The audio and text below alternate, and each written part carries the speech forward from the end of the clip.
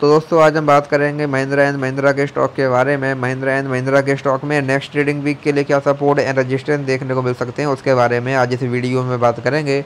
हम अगर यहाँ पर स्टॉक की बात करें तो हम देखेंगे जो ये स्टॉक है, ये हमको पिछले एक लंबे समय से यहाँ पर लगातार क्लियर अप ट्रेंड में देखने को मिल रहा है। हमको यहाँ पर स्टॉक में लगातार हाइयर हाई हाइयर लो वाला पैटर्न यहाँ पर देखने को मिल रहा है। हमको यहाँ पर स्टॉक में बीच बीच में यहाँ पर गिरावट भी देखने को मिली, लेकिन यहाँ पर स्टॉक ने कभी भी अपने प्रीवियस लो को यहाँ ब्रेक नहीं किया।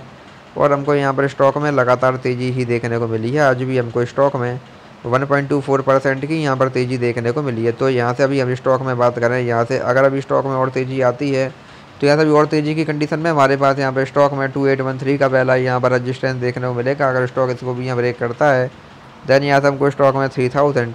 और अगर स्टॉक ने इसको भी यहाँ ब्रेक किया देन यहाँ से हमको स्टॉक में अगेन एक बड़ी तेज़ी, बड़ी बाइंग यहाँ पर देखने को मिल सकती है। इसके बाद हमको यहाँ पर स्टॉक में थर्टी टू हंड्रेड।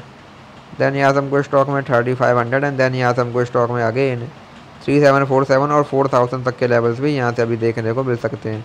वही यहाँ से अब अगर स्टॉक में गिरावट आती है तो यहाँ से गिरावट की कंडीशन में हमारे पास यहाँ पर स्टॉक में टू सेवन वन सेवन का पहला यहाँ पर सपोर्ट देखने को मिलेगा। अगर स्टॉक इसको भी यहाँ ब्रेक करता है देन यहाँ से हमको स्टॉक में टू सिक्स वन सेवन और टू फोर सिक्स वन तक के लेवल्स भी यहाँ से अभी देखने को मिल सकते हैं एज ए नेक्स्ट यहाँ पर सपोर्ट तो ये स्टॉक में कुछ इंपॉर्टेंट लेवल्स हैं, आप इन पर ध्यान दे सकते हैं। बाकी वीडियो में कोई बाय सेल होल्डिंग सलाह नहीं है। वीडियो केवल एजुकेशनल पर्पज़ के लिए धन्यवाद।